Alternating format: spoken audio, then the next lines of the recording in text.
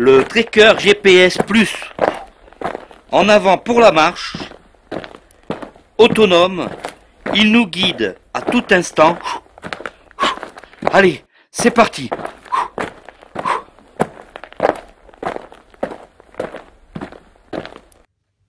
Et bonjour à tous. Donc aujourd'hui, comme promis, je vais vous présenter le nouveau GPS de chez Humanware, le Tracker Breeze Plus. Tout d'abord, je vous remercie de regarder cette vidéo.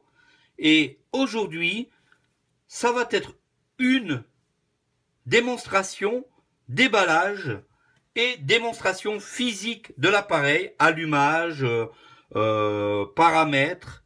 Une prochaine vidéo arrivera en temps réel dans une navigation concrète d'un point A à un point B. Je ferai par exemple une distance assez complexe avec des virages sur 500 mètres et je la filmerai en entier. J'espère que cette vidéo vous plaira. N'hésitez pas à mettre un pouce bleu si c'est le cas, de vous abonner. Ok, c'est parti pour le déballage, on y va. Donc, on a comme d'habitude le carton tout beau, tout neuf euh, qui est sur la table. Euh, je vais donc l'ouvrir. Donc là, on est en temps réel, hein. on fait vraiment le déballage complet de l'appareil. Alors, tout d'abord, qu'est-ce qu'on rencontre au-dessus? On rencontre deux CD.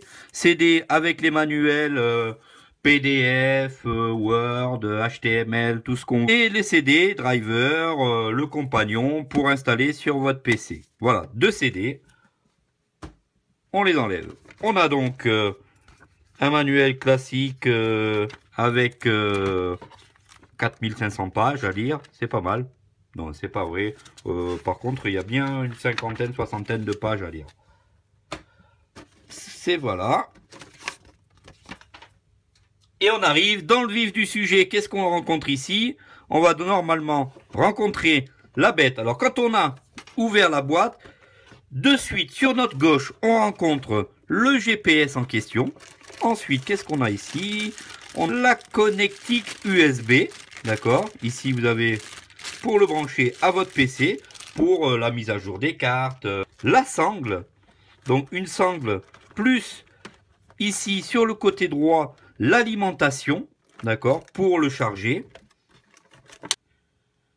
Alors, au-dessus de l'appareil, on a aussi une petite prise jack pour soit brancher un casque, donc jack 3,5 classique, pour brancher un casque ou est livré avec l'appareil petit haut-parleur cravate avec ici une petite pince pour le pincer à un col de chemise pour que ce petit haut-parleur soit au plus près de votre oreille. C'est-à-dire que lorsqu'on est dans une circulation intensive, qu'on puisse avoir un retour correct sonore.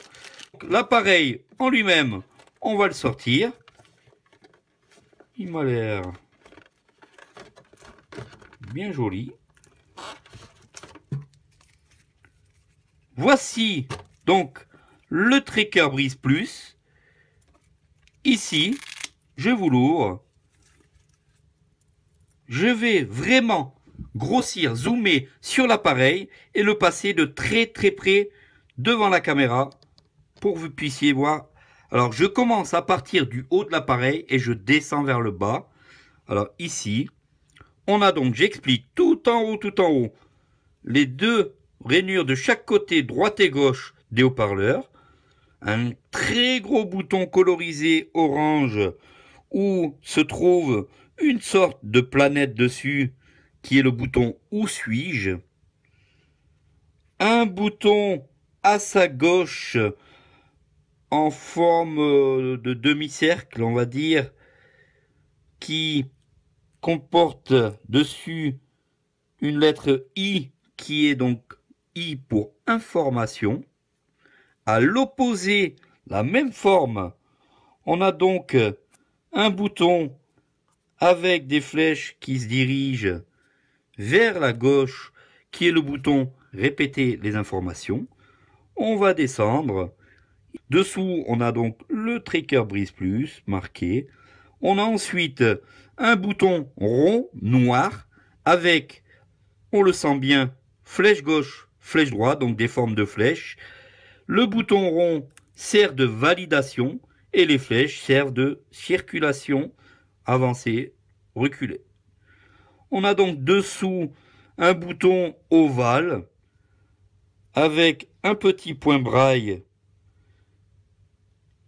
avec dans son fond rouge ou orangé qui est le bouton enregistrer. Ça veut dire qu'on va pouvoir enregistrer vocalement des points d'intérêt.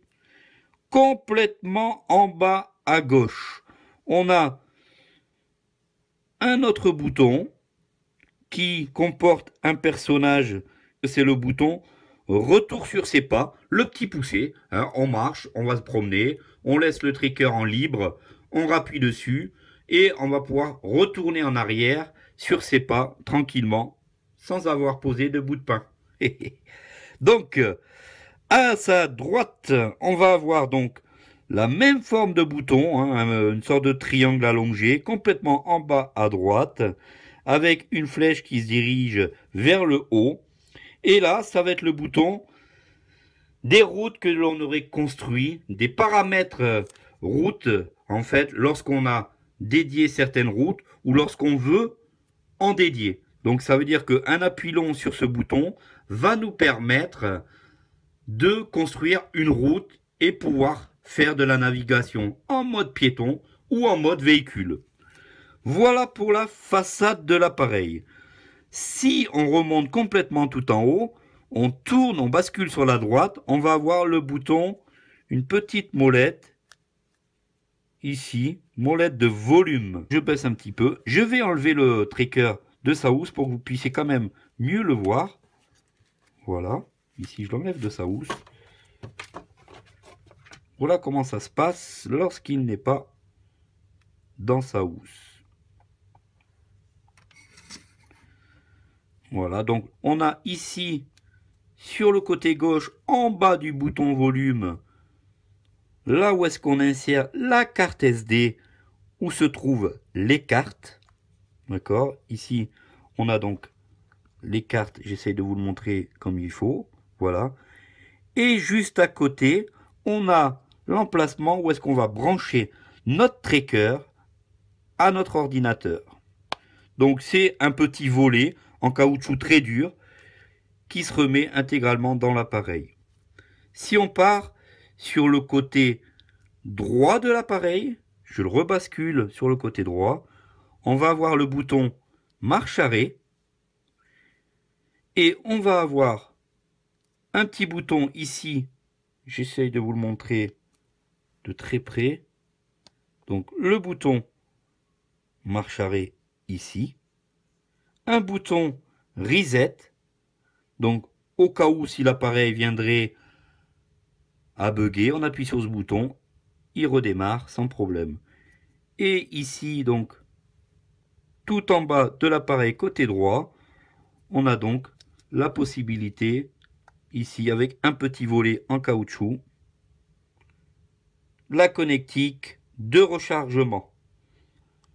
Voilà pour la démonstration physique. Maintenant, je vais aussi vous montrer le système de batterie.